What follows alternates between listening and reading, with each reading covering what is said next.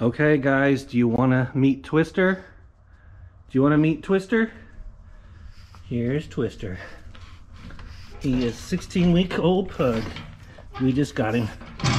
Um, the kids have had a ball with him. You know, we're stuck in the house so much. By the way, there's chapters to this video if you want to skip to chapters. But uh, this is Twister, and we've been stuck in the house so much, and this has been very entertaining for the kids. So we went to Petco, my wife did, and first started looking at them. $5,000 for a pug at Petco. I'm not kidding. $5,000. So we went on Craigslist, found a found this guy in Tulsa, medical student bought him and couldn't handle it. Uh, he has in an apartment. So we bought him for a fraction of that price, a very small fraction of that price. Anyway, let's get started. So here's the story. I am upgrading, getting my car ready for storm season 2021. I am official Skywarn storm spotter. N9YO. Kind of funny, it says Oklahoma City there, but I've got Missouri plates. I haven't got my plates yet. Uh, getting a license in Missouri is incredibly difficult. It's, there's like a six or eight week lag time. You have to have an appointment. You can't just go in and get it. It's ridiculous. People will show up at 7 a.m. They'll wait there all day long and not get their license. So I haven't even got my license yet, but mine hasn't expired. Anyway, we were upgrading this car. A lot of people were like, those things are crap. I installed this and it's actually pretty good. I've had no, with 25 watts, I'm hitting repeaters that are 15 miles away, no problem. Had a conversation the other day, repeater, and uh, he said I was full quieting, perfect. It works, it's good enough. You push 25 watts through this, you're gonna be fine. You know, it could probably be better, but don't worry about glass mount. I mean, okay, I made a mistake. So I wanted to put two radios in here at first. I wanted a 2 meter 70, 70, 70 centimeter radio. This radio here is one of the cheapest ones I found, QYT. It's very tiny 2 meter, it's a KT. It is so tiny, I love it. So I bolted it here. I haven't run the wires in it yet, and that's what I'm gonna do today. This thing is awesome though. With a programming cable and chirp, I was able to program it to all the Oklahoma City, Tulsa, and Joplin repeaters and it works great, okay? Then I heard that I was also gonna put a CB in here, CB radio, just because I wanna cover that, that also. So I'm gonna need at least two antennas. But I wish I hadn't bought that now because I bought a GMRS radio, a really nice one, and it has the capabilities of that with it. So you get GMRS, two meters, 70 centimeters.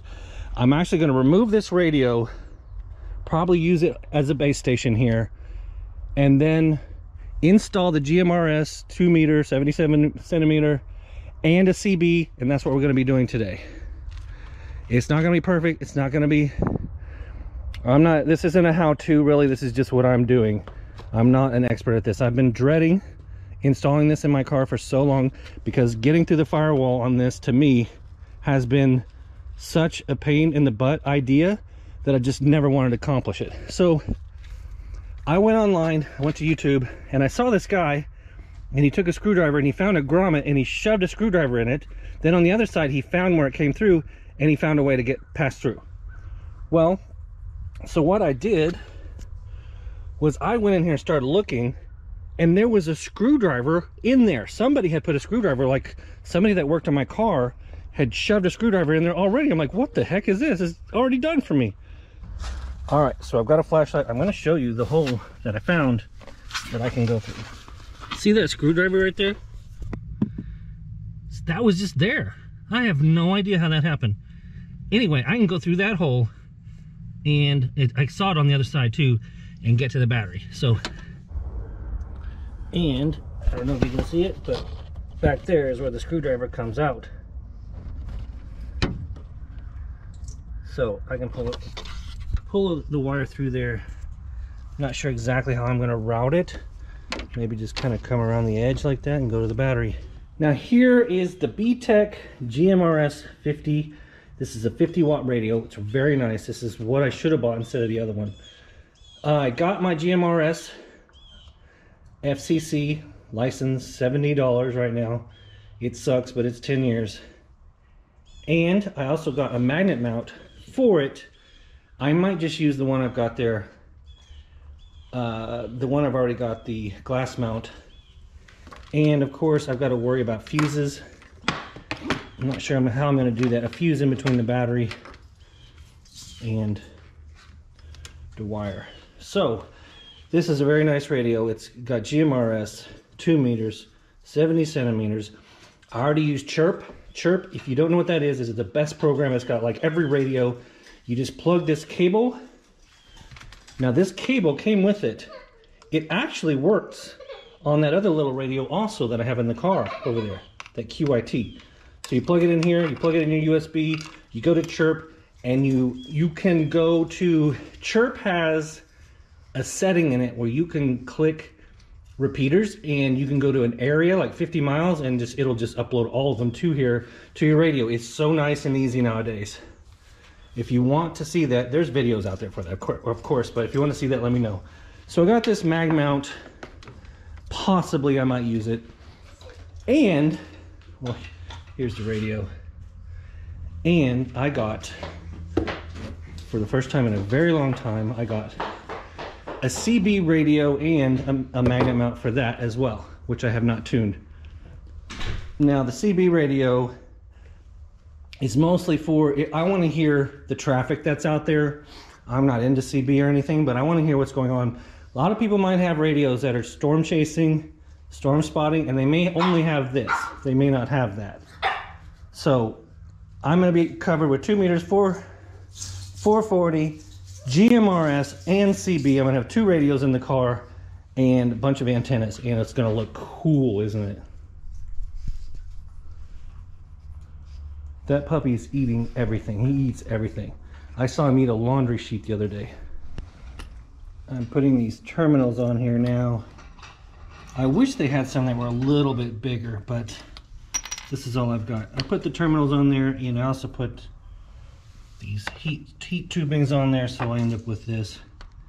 I like to do things right. I even solder it just for just for kicks.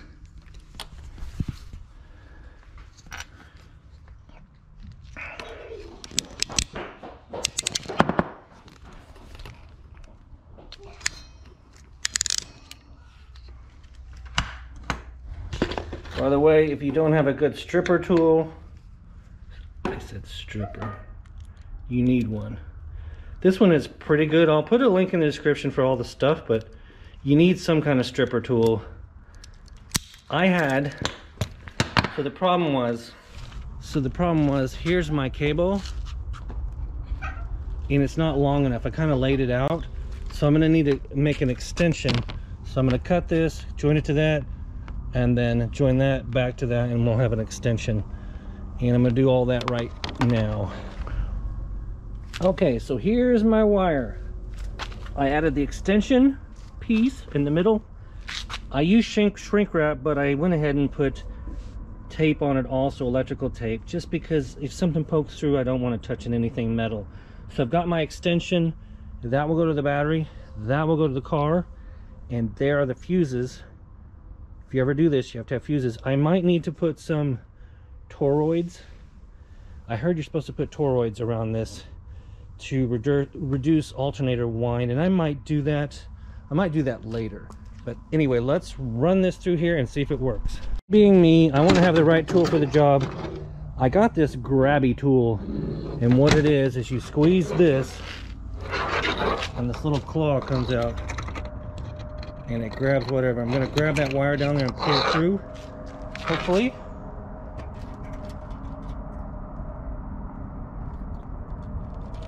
It'll be like that. So I decided I'm going to take my grabby tool, poke it through there, open it up, grab it, and pull it back through this way. So thank God for this thing. 10 bucks. I figured I would use this, you know, sometimes you drop things down the sink and stuff. I would probably use this. I got kids. We're always grabbing things. So here we go. I got my grabby tool and you got to have somebody else squeeze it while you put the thing on. I'm going to connect it to that and pull it through. Okay, so I had my wife grab it. I'm gonna tape it like that and pull it through. Let me tell you something, that literally took me 45 minutes to do this part. It was horrible. So that grommet in there, it's like this big bubble and it's got layers. So if you put your screwdriver through it, you'll hit another layer and then another layer. And each one of those layers, when you do the screwdriver, is tiny. So I had to keep going and going and going. I finally decided to just start cutting it. It's very difficult to get through. I finally pushed this through it. I finally realized that the screwdriver is not going to be big enough. So now I'm going to tape that up and pull it through and man, that sucked. That was worse than I thought. I thought once the screwdriver was through, we were done. No, that sucked. So I'm not taking any chances with this coming off. I It's both held on there and I've also got tape. And if it works, the problem is that grommet is so tight. It's so difficult to get to. I hate working on cars for that reason. All right, here's the moment of truth. I got it through, but it cost me 10 bucks. I lost my grabby tool. Oh well, that sucked. But here it is. Whew. All so I could just save not having to put in the cigarette lighter. Okay, it's taken me a lot longer than I thought. I try to be very careful. And so what I've done here is I connected the hot to hot. I noticed that this cable was connected to the chassis the negative side, the ground side. So I connected over here, that way I didn't have to mess with the battery. Trying to think about the best I could do is zip tie and stay away from the hot parts because I was thinking what if something melted and we had an exposed wire so I'm gonna keep an eye on it. I made a mistake. When I routed this I should have gone around around down there in the base but I didn't and now it's too late. So I don't really want it touching this stuff but it's kind of in the way if we ever have to have it fixed or something. It's kind of in the way. Not the prettiest thing ever. But this is the first time I've ever done this. And getting through that firewall was a huge success. So I think I'm done on the outside. Let's take a look on the inside. It's funny, it's January and uh, it's chilly. It's probably 36 degrees, but you know, it's it's not that bad. All right, now I have not tucked these wires away. But what I'm looking for, I wanted to have my radio here where I put it. Boy, these screws were really hard to put in. They're very, very flaky. Like they really need to be in perfectly. It's hard to do because you can't see when you're on the other side. Anyway, I got this here because I want it up high. I want to be able to see. I had the radio down here that I removed and I don't want to take my eyes off the road. So I wanted it up here so I could watch and do this at the same time. So if I'm doing this, I can still see something coming at me if I cross the road or something stupid. Um, this is an old car now. It's a 2010 Honda Fit and it's 2021. It's roughly 11 years old. And uh, I don't mind drilling holes in it now. So I'm drilling holes everywhere. I drilled right into this. I like that there's a little gap here and kind of cool it off or something. Um, so what I'm looking for is I'd like to run this back here and out of the way, but I want something to kind of pin it down. I want something where I could screw this into here and it holds it down nice and neat all the way across here. And then I don't know what to do about that, but I want to, of course, hide these. And then I've got the antenna, my old antenna, running back through here, and it's the glass mount. And I haven't had any problems with it, but I might still use the, I was thinking about using that magnet mount. I cut myself, by the way, getting up under that car. Ugh. Anyway, I was thinking about using the magnet mount here and drilling a hole through the roof and, and running the cable through over here instead of having the cable all the way underneath. I could run the cable that way. I was thinking if I drilled a hole, I put the magnet out here, drill a hole, and then put some sealant around it, kind of, I think it'd be sharp. It might kind of cut the cut the coax in, but I got to figure out what's underneath here so I can run it down there right to the radio. And then I was gonna install the CB today, the CB radio, but I ran out of time, way too much. So let me know in the description if you have any ideas about hiding these wires and tying them up. And let's fire up the radio, see if it works. Okay, so that's that's something I got to think about. I need to tilt it down a little bit. It's kind of pointed this way. I could accidentally leave it on now that it's connected to the battery I could accidentally leave it on and it would drain the battery. I gotta remember, turn that off. Probably won't be a problem. All right, so I've got it pointed right now. You can adjust the back end up and down to kind of give it, and now I'm looking straight at it. I wish it was tilted that way now that I think about it, but that's good enough. This is great because I can I can scroll along and watch the road at the same time. Feels really good. Um, taking it inside to program is a pain in the butt because you'd have to unscrew all four of these and bring it in and then to the computer and I don't have a laptop so. Now I had put this over here for that other radio.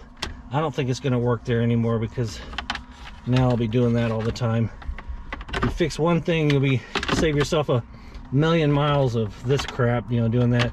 But for now I'll leave it here. So I gotta hide these wires got the radio. Let's see if we can hear anything. I should start the car up actually all right, you guys are gonna be with me when I tear off the sticker.